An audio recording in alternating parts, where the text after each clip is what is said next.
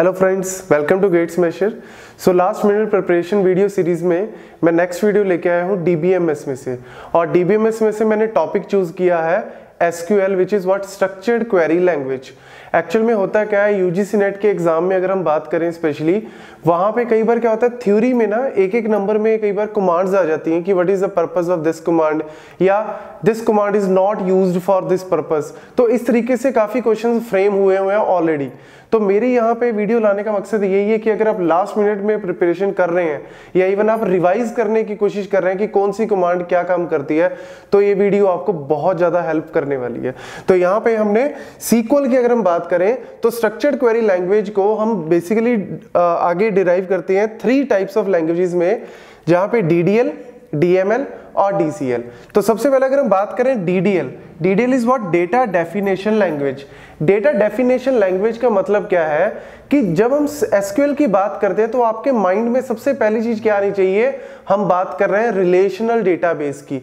Relational database का मतलब क्या होता है? जहाँ पे हम डेटा को स्टोर कर रहे हैं टेबल की फॉर्म में, टेबल की फॉर्म में, टेबल जिसको हम रिलेशन भी बोल सकते हैं, टेबल का मतलब क्या होता है? रिलेशन ही होता है। तो टेबल की फॉर्म में जब हम डेटा स्टोर कर रहे हैं तो डेटा तो बाद में स्टोर करेंगे। सबसे पहले क्या करना है? उस टेबल को बनाना है। तो वो जो टेबल बनाना, वो जैसे हम लाइक मुझे अगर कोई कोरियर करना है, मुझे कोई भी अगर चीज़ कोरियर करनी है तो कोरियर तो हम जो सामान करना है वो बाद की बात है। पहले हमें क्या डिज़ाइन करना है? हमें उसके लिए एक स्ट्रक्चर डिज़ाइन करना है, जहाँ पे मैं उस सामान को फिट कर सकूँ। तो वो जो स्ट्रक्चर बनानी है, वो स्ट्रक्चर का किसका काम है? डीडीएल का। तो वो स्ट्रक्चर बनाने के लिए सबसे पहली कमांड अगर मैं सही बताऊँ तो सीक्वल में, पूरे सीक्वल में सबसे पहली कमांड कौन सी है? क्रिएट टेबल क्रिएट टेबल का मतलब क्या है? टेबल को बनाओ। तो टेबल को बनाने के लिए मैं यहाँ पे कमांड नहीं लिख रहा। कमांड में इसलिए लिख रहा क्योंकि जब हम डीबीएमएस को यूज़ करते हैं आर डीबीएमएस हमारे पास अलग अलग कंपनीज़ के अलग अलग है। जैसे अगर हम बात करें माइक्रोसॉफ्ट तो उन्होंने सीक्वल सर्वर है और एकल वालों ने जो है अपने और एकल nine I ten G eleven twelve C अलग अलग वर्जन दिए हैं आईबीएम ने डीबी टू दी है माई सीक्वल है। तो इन सब के जो लैंग्वेज या सिंटेक्स का पार्ट है ना, वो थोड़ा अलग अलग है। तो अगर मैं एक को फॉलो करूँगा तो आपको लगेगा कि ये इसमें तो किसी और तरीके से लिखा हुआ है, क्योंकि बहुत ही माइन्यूटली डिफरेंस है।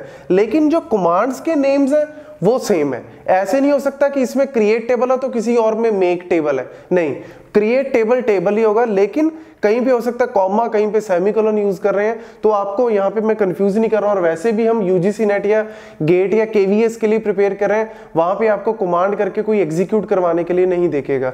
इन केस देख भी ले, तब भी आप इस कमांड को लिखोगे, तब आपकी पूरी एग्जीक्यूट हो जाएगी। तो क्रिएट टेबल की अगर हम बात करें तो हम टेबल को क्रिएट कर रहे हैं। लेट से कि अगर मैं स्टूडेंट टेबल को क्रिएट करूँ स्टूडेंट टेबल को क्रिएट करने का मतलब है, उसमें मुझे डालना क्या है? कॉलम्स लेट से मैंने दो कॉलम्स डाले आईडी एंड नेम और आईडी को मैंने रखा लेट से इंटीजर और नेम को रखा varchar these are the data types next अगर हम बात करें ऑल्टर टेबल की तो ऑल्टर टेबल कमांड का मतलब क्या है? ये बहुत ज़्यादा यूज़ होती है, बहुत ज़्यादा क्वेश्चंस में आती है। ऑल्टर टेबल कमांड का मतलब है कि इस स्ट्रक्चर में ये जो हमने स्कीमा बनाया स्ट्रक्चर बनाया, अगर उसमें मुझे कुछ भी चेंज करना है कुछ भी चेंज करना है। क्या चेंज कर सकता हूँ? लेट से मैं एक न्यू कॉलम कोई भी new column as father name mother name कोई भी कॉलम जो है वो ऐड कर सकता हूँ। या फिर अगर मुझे कुछ टाइम बाद लगे, यार, ये कॉलम एक्स्ट्रा है, मैं किसी कॉलम को डिलीट कर सकता हूँ। किसी कॉलम के डेटा टाइप को आप चेंज कर सकते हो। इंटीजर है तो आप वेरकर कर लो वेरकर है तो करेक्टर कर लो। या फिर आप क्या कर सकते हो? नेम चेंज कर सकते हो। लेट से आपको आपको लगा कि यार आईडी नहीं होना चाहिए। स्टूडेंट के केस में आईडी की बजाय अगर मैं रोल नंबर या रजिस्ट्रेशन नंबर रख दूँ, वो ज़्यादा बेटर है। तो आप ये नेम चेंज कर लो। तो स्ट्रक्चर में अगर कहीं पे भी चेंज कर रहे हो डेटा में नहीं, सिर्फ़ स्ट्रक्चर में, सिर्फ़ इस जगह पे अगर आप कोई भी चेंज कर रहे हो ऑल्टर कमांड यूज़ करते हैं। Then drop table drop table नाम से पता लग रहा है मतलब हमें कुछ ड्रॉप करना है। तो यहाँ पे हम क्या करते हैं ड्रॉप पूरे टेबल को। ड्रॉप टेबल में याद रखना, जब हम ड्रॉप टेबल कमांड लिखते हैं, ड्रॉप टेबल टेबल नेम तो पूरा का पूरा टेबल ड्रॉप हो जाएगा अलोंग विद एवरीथिंग पूरा डेटा, पूरी स्ट्रक्चर सब कुछ वेनिश्ड हो जाएगा। देन अगर हम बात करें truncate table truncate table command का यहाँ पे फ़ायदा क्या है? ट्रंकेट टेबल का मतलब है, मैं डेटा को डिलीट कर देता हूँ, एक बार में सारा डेटा लेकिन स्ट्रक्चर एज इट इज़ है। मतलब लेट से मैंने स्टूडेंट टेबल में दस हज़ार रोज डाल रखी हैं। ये सारी की सारी दस हज़ार रोज एक बार में डिलीट हो जाएँगी ट्रंकेट टेबल टेबल नेम लिखते ही। लेकिन अगर आपको ये टेबल की स्ट्रक्चर भी डिलीट करनी है मतलब हटाना ही है तो आपको ड्रॉप यूज़ करना है। अगर आप टेबल की structure like ID name father name mother name ये रखना चाहते हो, सिर्फ़ उसका स्कीमा तो उसके लिए आप ट्रंक के टेबल को यूज़ कर सकते तो ये दोनों में डिफरेंस जो है, वो ये। जनरली ये कमांड्स का जो रियल लाइफ में अगर मैं बात करूँ तो ये डीबीए के पास डेटाबेस एडमिनिस्ट्रेशन के पास होती है, इनकी ऑथराइजेशन जनरल नॉर्मल यूज़र्स के पास नहीं होती, क्योंकि ये बड़ी क्रिटिकल कमांड्स हैं, क्योंकि अगर कोई भी डेटाबेस में से टेबल को डिलीट कर देगा तो पूरी ऑर्गेनाइजेशन आज के टाइम पे सबसे इंपॉर्टेंट एसेट कंपनी के लिए क्या है? डेटा तो डेटा बहुत ही क्रूशियल थिंग है। नेक्स्ट अगर हम बात करें डेटा मैनिपुलेशन डेटा मैनिपुलेशन में सेलेक्ट कमांड जो है वो सबसे ज़्यादा यूज़ होती है। क्यों? क्योंकि डेटा हमने स्टोर कर दिया। दस हज़ार स्टूडेंट का, बीस हज़ार स्टूडेंट्स का डेटा स्टोर कर दिया। अब स्टोर करने का क्या मतलब? उस डेटा को अब हमें फेच करना है। फेच करने के लिए हम यूज़ करते हैं सेलेक्ट कमांड नेक्स्ट अगर हम बात करें अपडेट अपडेट कमांड का मतलब है डेटा में कुछ चेंज करना है। तो बहुत बार डिफरेंस आता है ऑल्टर और अपडेट में। ऑल्टर मतलब स्कीमा में चेंज करना है। अपडेट मतलब डेटा में चेंज करना है। लेट्स से अगर किसी स्टूडेंट का एड्रेस है दिल्ली दिल्ली से अगर मुझे मुंबई करना है तो कौन सी कमांड अपडेट लेकिन अगर किसी कॉलम को हमें कॉलम का डेटा टाइप चेंज करना है तो उसके लिए हम ऑल्टर कमांड तो जब भी आपको डेटा में कुछ चेंज करना है वैल्यू में कुछ चेंज करना है वैल्यू के अंदर update command is used then insert. Insert command is used to simply insert the data. Insert into table name values. हम values लिखते हैं ब्रैकेट में तो डेटा इंसर्ट हो जाता है. डिलीट डिलीट कमांड नाम से पता लग रहा है डेटा को डिलीट करने का तो आपको माइट भी यहाँ पे आ रहा होगा ये तीन पॉइंट्स कि ये तीनों का काम तो सिमिलर सा ही है। तो इनमें डिफरेंस क्या है? ड्रॉप मैंने पहले ही बताया। पूरी rows along with the structure truncate पूरी रोज लेकिन स्ट्रक्चर में कोई फ़र्क नहीं पड़ेगा। डिलीट भी क्या है? सारी रोज लेकिन स्ट्रक्चर में कोई फ़र्क नहीं पड़ेगा। तो आपको ड्रॉप और डिलीट का तो फ़र्क पता लग गया होगा। लेकिन अब आपको लग रहा होगा कि ट्रंकेट और डिलीट में क्या फ़र्क है? तो ट्रंकेट और डिलीट में फ़र्क है सबसे मेन कि ट्रंकेट जो है, वो एक बार में सारा डेटा एक बार में। डिलीट वन बाय वन भी कर सकती है। एक बार में भी कर सकती है, लेकिन डिलीट फ्रॉम टेबल नेम और अगर हम वेयर क्लॉज को यूज़ करें where ID is equal to one या where name is equal to this एक रो को।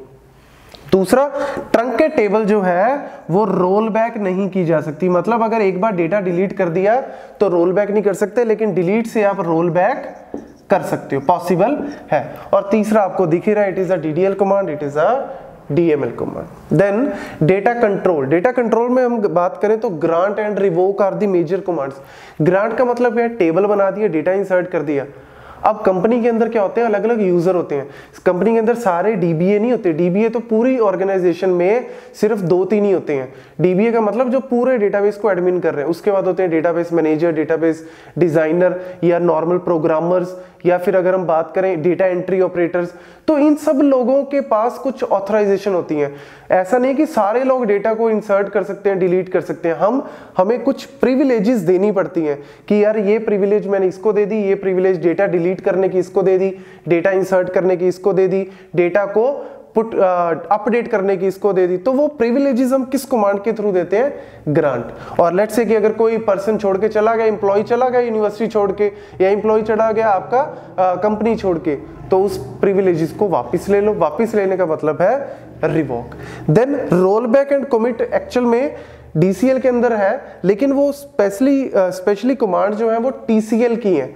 ट्रांजेक्शन कंट्रोल, जिसमें हम रोल बैक को यूज़ करते हैं। अगर ट्रांजेक्शन बीच में कहीं पे फेल हो जाती है तो हमें उसको रोल बैक करना पड़ता है। और कमिट का मतलब होता है कि जो भी डेटाबेस में चेंज हुआ, उस चेंज को परमानेंटली सेव कर दो डीबीएमएस के अंदर। So this is what the use of roll back and commit then यहाँ पे मैंने कुछ ऑपरेटर्स और पॉइंट्स uh, लिखे हुए हैं। ये सारे के सारे सेलेक्ट कमांड के साथ यूज़ होते हैं जैसे कि डिस्टिंक्ट डिस्टिंक्ट का मतलब है अगर डेटा मेरा one one two three four है तो डिस्टिंक्ट क्या करता है? हमेशा यूनिक डेटा को आउटपुट में प्रिंट करता है। डिस्टिंक्ट मतलब ये सारी की सारी परमानेंट सेव नहीं करती डेटाबेस में।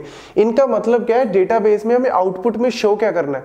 डेटाबेस में तो one one two three three रहेगा।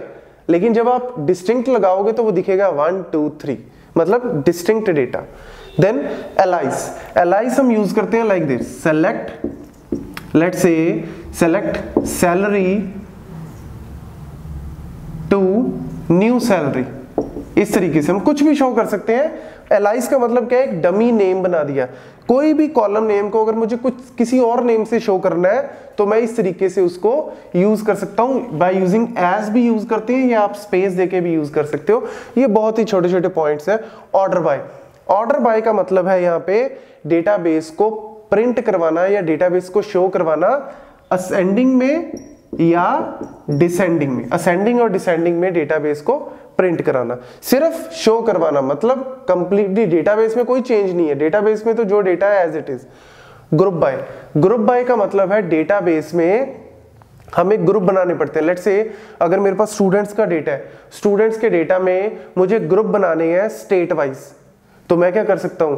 पूरी स्टेट्स हैं लेट से इंडिया में 28 स्टेट्स हैं 29 स्टेट्स हैं तो इन सारी स्टेट्स को अगर मुझे ग्रुप बाय करूँगा तो मेरे को अलग अलग होगा, उसको मैं ग्रुप करके शो कर सकता हूँ। एक्चुअल में ये सारी इस तरीके से आपको माइंड भी लगेगा कि क्लियर नहीं हो रहा हो। लेकिन ग्रुप बाय जो है, अपने आप में ये बहुत मेजर क्लॉज है। क्योंकि ये हम यूज़ करते हैं बहुत ज़्यादा क्वेरीज के अंदर।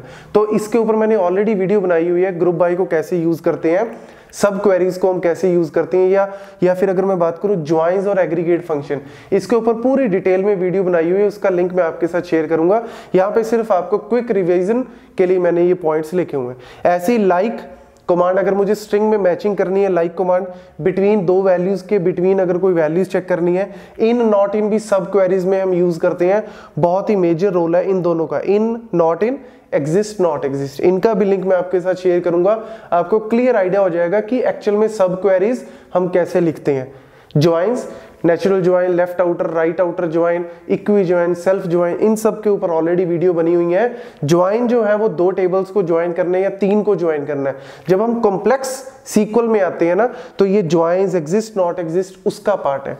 And aggregate function sum count min max ये सारे जो है एग्रीगेट फ़ंक्शन है। इनको हम कैसे यूज़ करते हैं अप्रोप्रिएटली नॉर्मल तो आपको पता ही है, एक डेटाबेस में से मैक्सिमम वैल्यू निकालनी है।